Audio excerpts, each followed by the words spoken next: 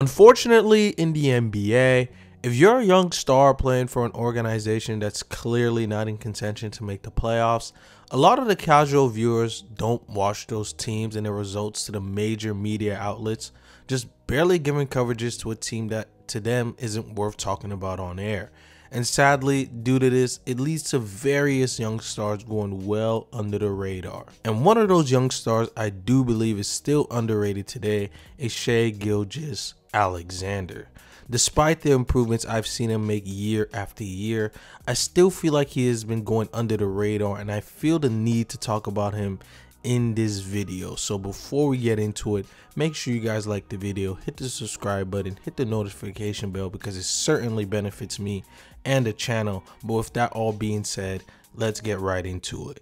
Let's start off with one of the best aspects of Shai's game, and that's his finishing ability. For some reason, the best part of his game is still underrated because most people don't realize that Shai is one of the best finishers in the NBA.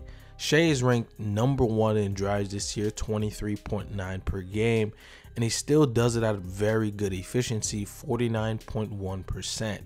Even though he's playing with very bad spacing, when you watch Shai drive to the basket, you notice that he uses a lot of deceleration moves to fool his defenders into trying to rip the ball from him, only for him to blow by the defender for points at the rim.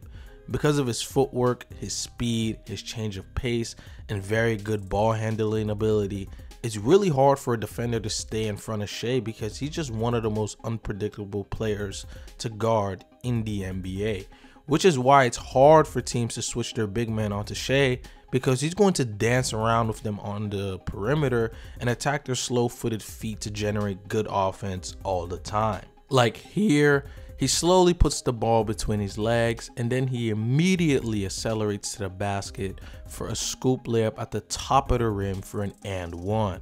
Here, he gets a screen, does a slow hezzy here to throw off the defender, only to cross back in full speed for a layup. His change of pace, you can argue, is probably the best in the league. He's not incredibly fast or too slow. He just plays at a pace that's hard to predict. And it goes into why he's one of the most unpredictable players to guard. And when you combine that with his length, you get a guy who's incredibly shifty and has the length to lay the ball over any small defender, and because of how quick he is, bigs find it difficult to guard him as well. And when you put into context that he's having to create all of his offense practically himself, Shai's ranked third in the NBA on unassisted field goals made. Pretty much 83.2% of Shai's points came from self creation.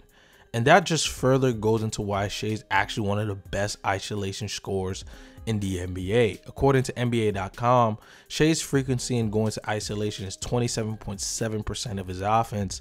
And the reason why I bring this up is because Shai is in the 80.3 percentile. And for how frequent he does it, it's actually really good. When he's doing all these herky jerky moves on the perimeter and then eventually attacks the basket, forcing the defenders to either collapse on him or give up the layup, or even sometimes he shoots the three with the step back that he has in his back or this pull up shot that he's been doing for the past two years. Even though his pull up shot is very slow, it's still very, very effective. And when you look at last year's shooting percentage compared to this year, it would seem he has regressed as a shooter, but that deserves a bit of context. Last year, Shai only played 35 games and he was shooting 40% from three and about 41% on pull-up shots, which in comparison to this year, he shot 30% from three and 35% on pull-up shots in 56 games played this year. And two things go into this. And the first one I already mentioned is the games played. It's common knowledge to know that if you have a much larger sample size for games played, it's probably a good indicator to know which stats are more accurate. And second was that he's having to create almost all of his offense on his own. As previously stated in this video, Shai's a very good isolation scorer. But if Shai's not going to get any consistent secondary scoring from another guy, and he's forced to play with one of the worst spacing lineups, arguably just one of the worst lineups in the league, period, I can understand why his shooting might suffer because this year he's having to create more of his offense more than any other year in his career so far. But despite that, I still believe Shai's three point percentage and pull up percentage last year, in my opinion, was a bit of a fluke. But I do think another offseason for Shai to work on his shooting again. I do think his shooting stat should go up and not be as low as it was this season. But scoring isn't the only good thing about Shai. Shai's really good, and I mean he's a really good playmaker and he's really good at passing as well. Sometimes I do believe that Shai's passing gets overhyped, but it is undeniable to say that he's actually still a very good playmaker. Shai averaged 5.9 assists, and he's very good at leveraging his scoring gravity to creating good scoring opportunities for his teammates. And it's actually pretty impressive to see that despite the addition of Josh Giddey this season, he was still able to maintain that level of playmaking, even though he would have to share the ball handling responsibilities with another player that's a very good passer. And Shai's decision after getting a screen is top tier. Once he gets his screen, he decides whether to shoot his pull up shot or wait for an opening the defense to throw a pass to the big.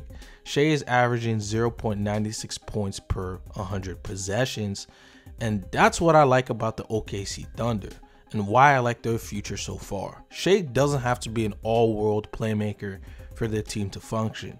We saw Josh Giddey many times during the season be able to play make at a relatively high level for their team to function, at least for the time being.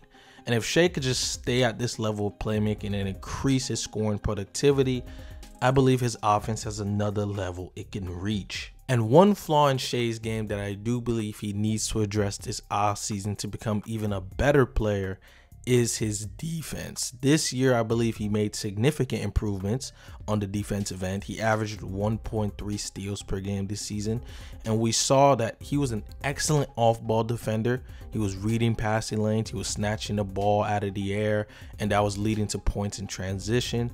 Shai has been a much smarter as a defender than he's ever been, using his size, his length to stay in front of the opposing offensive player. Despite his defensive improvements, I still wouldn't call him a good defender.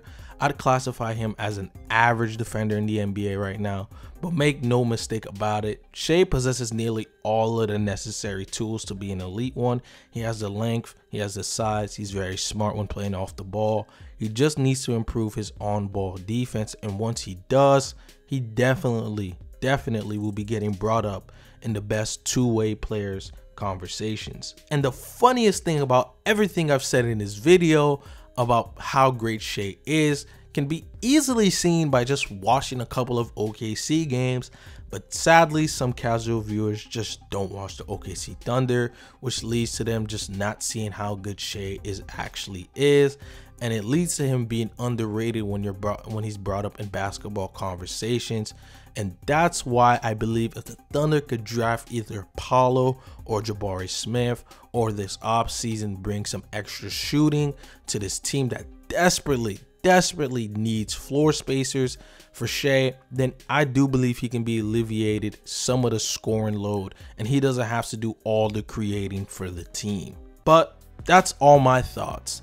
Let me know in the comment section below if you guys agree with me. Despite how good Shai is and how much better he's gotten, he is still, and I mean still, widely underrated in the NBA community. Let me know all of your thoughts in the comment section below. But before you guys leave, make sure you guys hit the like button, hit the notification bell because it keeps you guys posted on other content I will be dropping on my channel.